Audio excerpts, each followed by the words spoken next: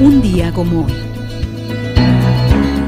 4 de junio, pero de 1920, nace Alejandro Obregón, uno de los pintores más destacados del siglo XX, apodado por la crítica como el expositor del expresionismo romántico y considerado el padre del arte colombiano. Muchos de los trabajos de Obregón se caracterizaron por contener una fuerte crítica política y social. Los nuevos pintores y escultores de esa época estaban más comprometidos con los temas culturales y ambientales que con los eventos políticos. Los contemporáneos de Obregón se dedicaron realizar una revolución de índole estética o formal más que política. Pero en el caso de este artista, mientras trabajaba en una revolución estética, la combinaba con la realidad del momento. Este es el caso de los trabajos El estudiante muerto, 1957, y Luto de un estudiante, 1957, que aluden a los hechos ocurridos en el gobierno del general Gustavo Rojas Pinilla. Es famoso el gallo como símbolo de su dictadura militar.